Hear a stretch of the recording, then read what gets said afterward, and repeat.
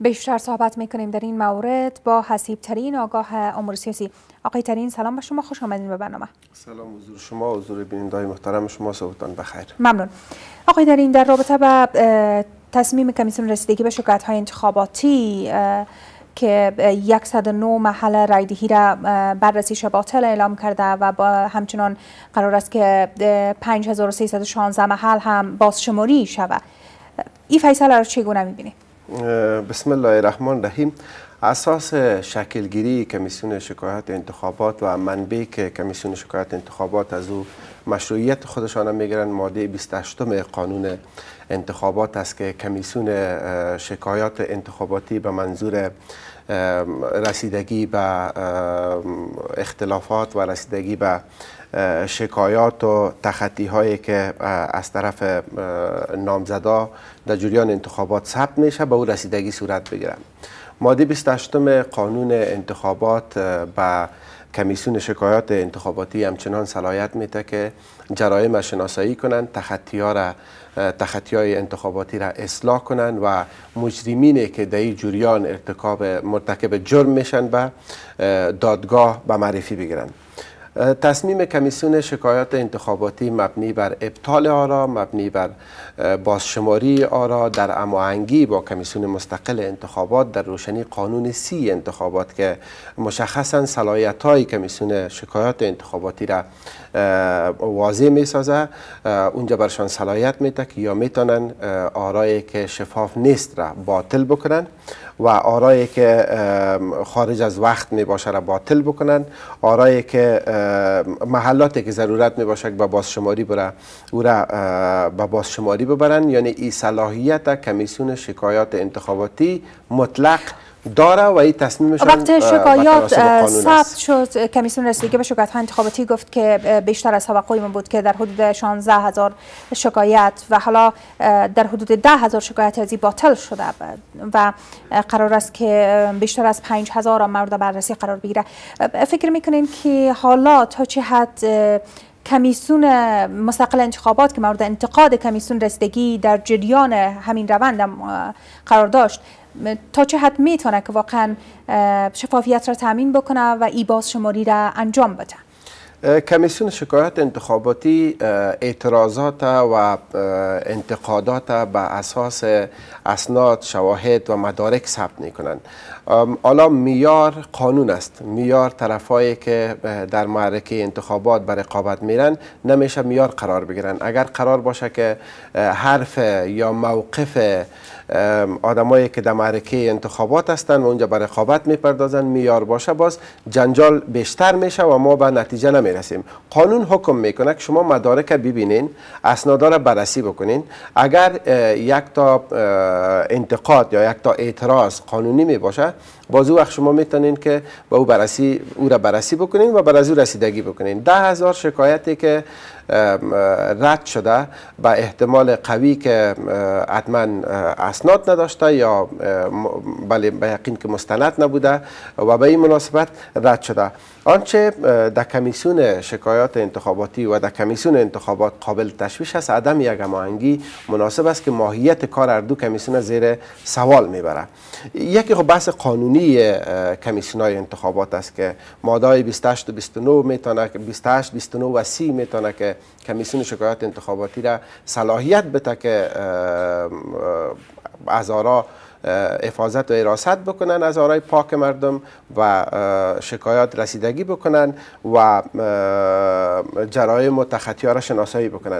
اما اساس گپی است که وضعیت حاکم چی میگه؟ یعنی چی جریان داره؟ مثلا استفاده سو از ماده قانون یا از صلاحیت های قانونی که برای مثلا چه استفاده سو صورت گرفت من خدمت عرض می کنم استفاده سو از صلاحیت قانونی می‌تونه که به طور مثال برای یک کمیشنر کمیسیون شکایات انتخاباتی یا برای اعضای کمیسیون شکایات انتخاباتی قانون صلاحیت داده که آرای ناپاک باطل کنن یا محلاتی که دوجه انتقاد وجود داره یا شکایت وجود داره را برای بررسی ببرن.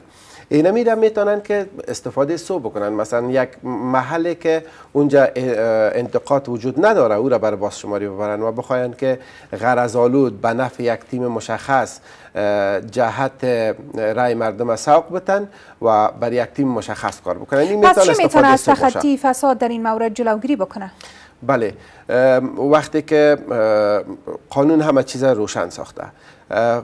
کمیسیون مستقل انتخابات به اساس قانون آرای مردم حساب می‌کنه.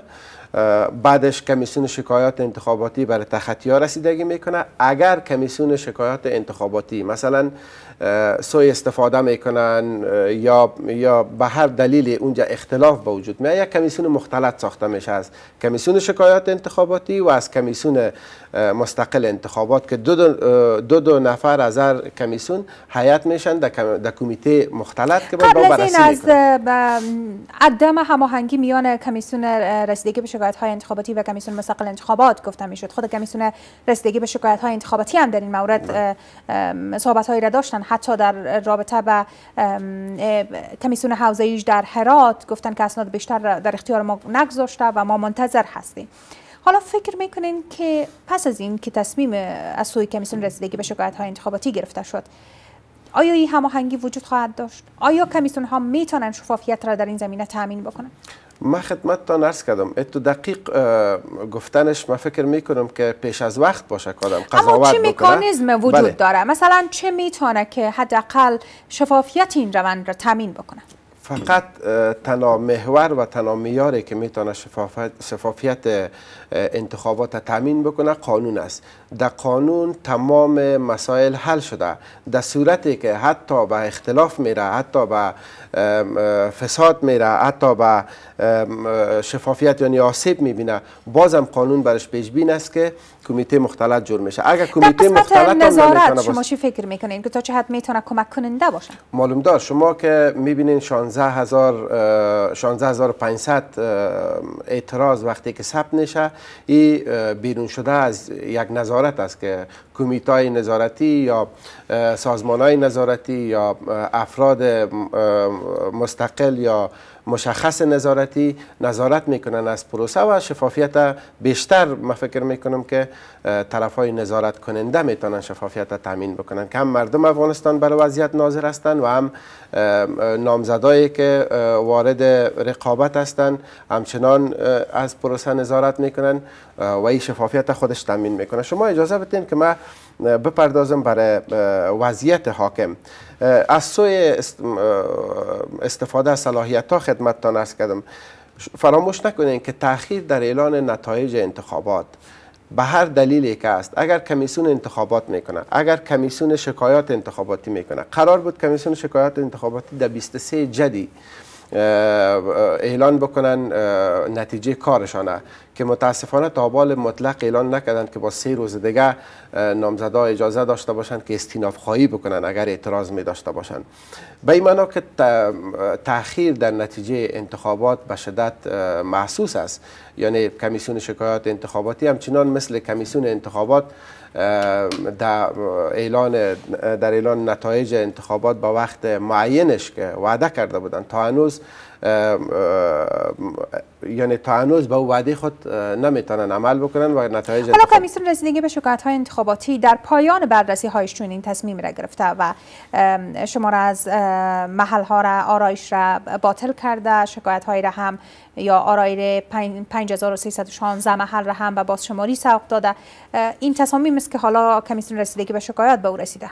بله. عرض من خدمت تانی است که باید ما نتیجه یعنی پیش از این باید بله. نتیجه انتخابات بله. باید سریعتر و عاجلتر و زودتر با در نظر داشت وضعیت اساسی که فعلا افغانستان به او روبرو است. ما یک حکومت مشروع نداریم. و کارهای کلان حکومتی افغانستان کماکان سر جایش است. طرف صلح مسئله صلح افغانستان طرف طالبا حکومت وحدت ملی را تحویل نمی‌گیرن. با حکومت وحدت ملی واقعا وارد گفتگو نمیشن در مورد صلح. بودجه افغانستان ما کسر بودجه داریم. باید حکومت جدید که از رای مردم وارد قدرت میشه باید لابی کنن بر افغانستان پول جمع آوری کنن. و ده ها مورد خرد و بزرگ دیگه که افغانستان فعلا بر از روبرو است. یعنی تاخیر در نتایج انتخابات به صورت به نفع بله، مردم افغانستان بیش از 5000 آرا قرار است که آرای محل ها قرار است که باز شماری شود. فکر می‌کنین که تا چه مدت زمان دیگر ما می‌تونیم به نتیجه انتخابات دست پیدا بکنیم و کمیسیون ها قادر به خواهد بود تا نتیجه را اعلام بکنه من فکر می‌کنم تاخیر در نتیجه انتخابات و به درازا کشاندن انتخابات اختلافات بیشتر می سازه و بحران عمیقتر می سازه واقعا کمیسیون شکایت انتخاباتی صلاحیتشان است که بفرستن محلات برای بازشماری و یا رای باطل کنن. به هر حال اما اگری به تاخیر انجام میشه و سلیقه ها در اینجا مورد توجه قرار می‌گیره یک ضعف مدیریتی به وجود میاد که ضعف مدیریت در پروسه انتخابات واقعا بحرانزا است و این سرنوشت انتخابات و سرنوشت مردم افغانستان به چالش میکشانه ممنون از شما حسیب ترین آگاه امور سیاسی از حضورتان در برنامه تشکر.